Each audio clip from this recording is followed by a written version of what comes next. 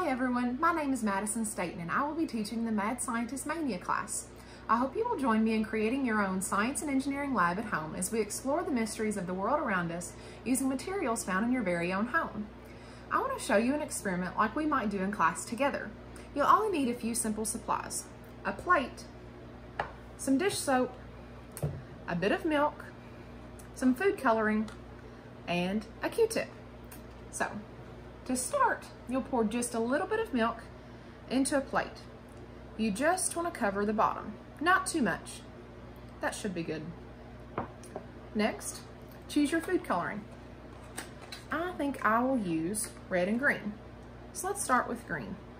Put just a couple of drops in the center. One, two, one, two. Next, red. One, two, one, two. Do you notice anything happening? The colors seem to stay together. Next, we need to prepare our Q-tip. Put just a little bit of soap on the end, not too much. This should be good. Whoa, did you see what happened when the soap dropped in? Now I'm gonna dip the tip in. Whoa, it moved again. Isn't that cool? I wonder what science mystery that could be.